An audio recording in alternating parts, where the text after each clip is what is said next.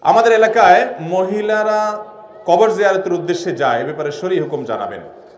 মহিলারা কবরস্থানে কবর জিয়ারত করতে যাবেন কিনা? ফোকা একরামের দুইটা মত আছে। একটা মত হলো, মহিলারা কবর জিয়ারত করতে যাবে না। কারণ, হাদিসে বর্ণিত হয়েছে নবী সাল্লাম থেকে, লাহানাল্লাহু জাওয়ারাতিল কুবুর। যে মহিলারা কবরস্থানে যেতে থাকে, জিয়ারত করতে থাকে, আল্লাহ লানত বর্ষিত হয়। এ হাদিসটির আলোকে মুহাদ্দিস ফোকাহা একরামের একদল বলেন যে মহিলারা কবর জিয়ারত করতে যাবেন না। এখন আপনি যদি বলেন, তারা কেন যাবে না? তাদের বাপ আছে, মা আছে, স্বামী আছে, তাদের কি আবেগ নাই? তো এর উত্তর হলো, প্রথম কথা হলো যে আল্লাহ তালা কোন কারণে বাল্লা রসুল সাল্লাহ সাল্লাম আল্লাহর নির্দেশের ভিত্তিতে কোন কারণে কোনটা আদেশ নিষেধ করেছেন, তার সব কিছু আপনি, আমি বুঝে যাব এমন নয়। অনেক হিকমত আছে যেটা আমাদের জানা নাই, আল্লাহ তালা ভালো জানেন। এর ভিতরে বাহ্যিক কিছু কারণ আছে, তারা অনেক বেশি আবেগ আবেগপ্রবণ হয়ে থাকেন। কবরস্থানে গেলে নিজেদেরকে নিয়ন্ত্রণ হারিয়ে ফেলার সম্ভাবনা পুরুষদের তুলনায় একটু বেশি থাকে। দ্বিতীয়ত, কবরস্থান একটা পাবলিক এমন পাবলিক প্লেস যে যেখানে যখন মানুষ মারা যায়, অনেক মানুষ, কারণ কবরস্থানে লাশের পিছনে যাওয়া সবের কাজ, অনেক মানুষ সেখানে যায়। সেখানে পর্দার খেলাফ, তাদের প্রাইভেসি নষ্ট ইত্যাদির কারণ আছে। আরও অনেক ব্যাপার থাকতে পারে, আধ্যাত্মিক ভেতরগত যেগুলো আমরা জানি না, কিন্তু হাদিসে নিষেধাজ্ঞা আছে। তবে অনেক ওলামা একরাম বলেছেন, এ হাদিসে জাওয়ারাতুল কবর বলা হয়েছে, অর্থাৎ যারা বেশি বেশি কবর জিয়ারত করে, মাঝে মধ্যে কেউ গেলে সেটা এ হাদিসের আলোকে নিষিদ্ধ হবে না।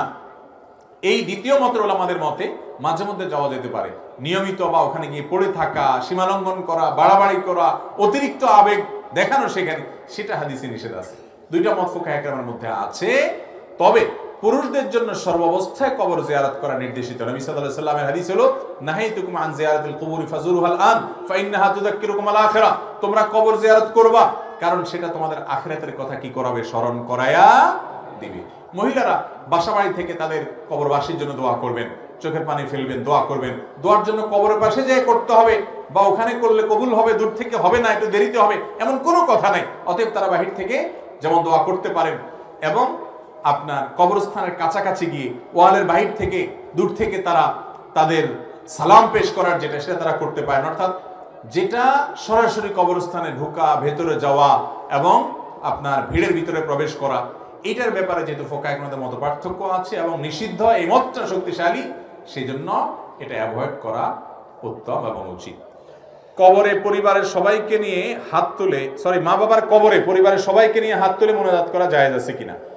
কবরে পরিবারের সবাইকে নিয়ে কবরে বা কবরবাসীকে কেন্দ্র করে আলাদা দলবদ্ধভাবে হাত তোলার প্রয়োজন নাই। কবরবাসীর জন্য আপনি দোয়া করেন, কেবলামুখী হাত তুলে কোনো অসুবিধা নেই।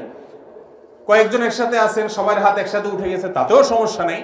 কিন্তু যেটা আছে ট্র্যাডিশনাল দোয়া, যে একজন হুজুর দোয়া করবে, সাথে সবাই কবরস্থানে জিয়ারত করতে দলবদ্ধভাবে গিয়ে আমিন আমিন বলবেন।